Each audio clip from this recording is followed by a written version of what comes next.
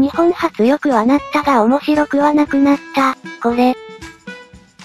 これあるよな。強さと面白さは直結しない。大谷泣き後の野球も同じ。今はうまいけど鼻がない。単純に飽きたってのもあるだろうけどな。スター派絶対必要よ。今のサッカー一般人が認識してるスターおらんでしょ。中田がいた頃だって上昇気運が高かっただけで、面白かったわけではないやろ。一番派本田香川が揃ってた時だよ。言うほど強いか？アジアは国だったら今もきつい。結局シュンシェやろう。フリーキックがつまらんやん。